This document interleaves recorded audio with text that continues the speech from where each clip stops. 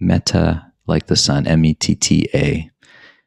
And um, this is a practice that is inspired from a number of different sources. One, one is that one of my close teachers and friends, Kenneth Folk, who I mention a lot in the context of social meditation because he he originated the term and originated the first practices, some of the first practices that I did. So I'm um, always grateful for his contribution to my process around this. And on Twitter, uh, one of his favorite mediums, this is mine, he will often tweet Metta like the sun. This has been a recent development. And it really reminded me of how in the early Buddhist Theravada tradition, metta practice, loving kindness practice, is taught in, in two different ways. One, which is more popular, is the using phrases to help anchor the well wishing. So, using words and phrases, may you be happy, may you be healthy, may you live with an open heart, things like that, which we've, we've, we've done that together. And I think that's a beautiful way of practicing. And it really lends itself nicely to social meditation because it's got that verbal out loud component. The other way that was um, taught in that tradition and that you see in the Metta Sutta, the original teachings of the Buddha on metta is is uh, instead of using phrases, you can also radiate metta. So, in using instead of using words to kind of um, anchor the well wishes, you can kind of imagine that you're radiating this loving kindness in all directions forward, backward, left, right, up, down, north, south, east, west. You know, you can you can break the directions down in different ways, but the idea is you want to radiate um, this well wishing, this goodwill in all directions. And for some people, actually, that radiating quality really connects um, more with them than it does using phrases. So I've long been thinking how to um, bring that kind of radiating quality into a social meditation practice where words are kind of part of the game. And so when I saw Kenneth's tweets, metta like the sun, I thought, oh, this is a cool way to do it um, because the sun is this thing that we all have a you know clear connection with that does radiate you know it radiates all the light and warmth that we experience and all the energy you know ultimately coming from the sun.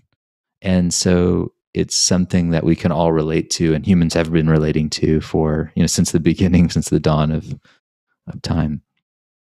So um, just what a powerful um, mechanism to use to connect this quality of radiating. Um, and and what I'd like to do here and suggest is that we we work with this in a kind of freestyle way, meaning that whatever it is that you would like when it's your turn in this practice to to radiate some positive beneficial quality that you want to develop um, and that you're interested in cultivating that you could just use a word or two to describe that and then add like the sun. So it could be metta, like the sun, or joy, like the sun, freedom, like the sun, love, like the sun. And as you do this, you might, you know, spend a little time connecting to that that kind of metaphor and that quality of radiating, you know, where where it's actually we're the ones that are radiating it like the sun. You know, it's actually we're the origin point of that radiation. Um, and we're sending out this quality, uh, wishing it out in all directions at the speed of love, you know, which is probably faster than light, I imagine. Um, and that's the basic practice. That's in essence what this this practice is about. And I thought we could do this in um, in a sequential order, taking turns.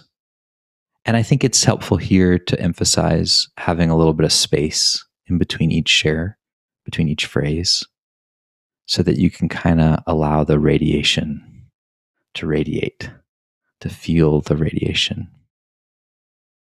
And I'm hoping that the freestyle form gives us some creative freedom to just explore what's true for us and what, what it is that we, we are wishing for. And also, as with all the social metta style practices, I think there's there's two ways that at least two ways that we can relate to the to the phrase. One is as an aspiration or as a wish, and then the other is as a, an actualization, a realization of something which is always already radiating freedom, love, joy. And either way is fine. You know, you can find yourself to be the timeless, loving awareness that's radiating all space and time. Or you might just be like, hey, it'd be really nice if there's a little freedom, more freedom in the world, freedom, freedom like the sun. And it's okay if you're not feeling that. Um, totally fine in this practice because we're just inclining toward that in that direction.